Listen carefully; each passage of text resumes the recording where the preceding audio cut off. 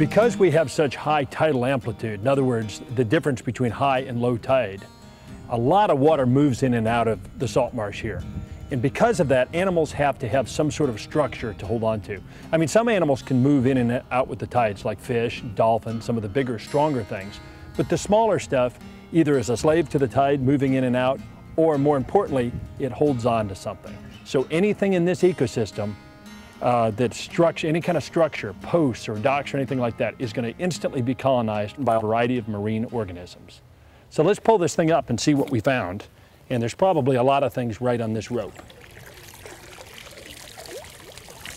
Lots of stuff. Sea squirts. you can see all the water squirting. It's just amazing. And so this, this rope has only been here a couple years, and you can see how much stuff is, has colonized this. This is an old crab trap rope, and just a little piece of the crab trap is still left. I can't believe how much water is sprayed off of this thing. Just unbelievable. Lots of cool stuff in here. Uh, there's a variety of small creatures. They're a little bit hard to see that live on these, uh, in these hydroids and on all these, this structure that is created. One example is something called a polychaete worm. And polychaete worms, chaetae are like little legs. So this means many-legged worm. And so this particular worm is just, it's got tiny little feet, almost a little silly on it, and that's what it helps to move. These animals come in a variety of sizes. Some of them are kind of small and some of them get quite big. But you can imagine this is great food for birds and fish and all sorts of other things. So a lot of things eat them, but mostly they have a place to hold on. We've also got a couple little crabs here. This is a, looks like a little mud crab possibly. It's got black claw tips. But what's really cool about it is this is a sponge crab. And when crabs have, uh, female crabs have eggs, they hold them up underneath the apron and you can see their eggs just spilling out of this. So these little eggs will hatch into little tiny larval crabs, and those crabs eventually will, you know, get back down the bottom. They're free floating in with the tide for a while, and then they'll turn into little tiny crabs that look like these.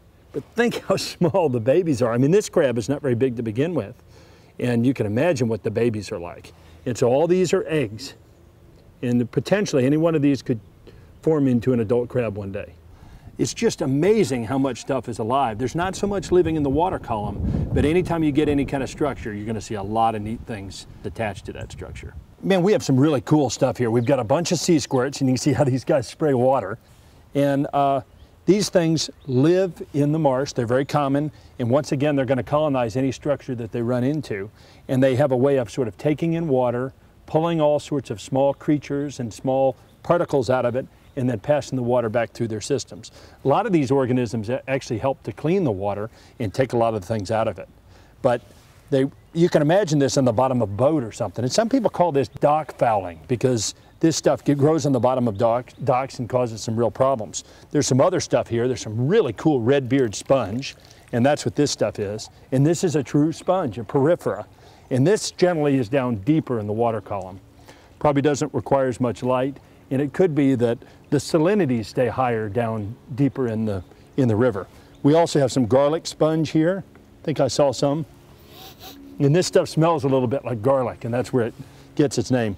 Now, one of the things that's interesting is this is stuff that's um, associated with high salinities. We get salinities of almost what open ocean water is, you know, 33 sometimes parts per thousand. So this is stuff that likes high salinities. During times of lots of rainfall, a lot of this stuff will die. And of course it recolonizes when it gets a chance, but uh, in a lot of ways, a lot of fresh water running into the marsh uh, can poison the marsh. So that's something we need to keep in mind in terms of roads and impervious surfaces and things like that.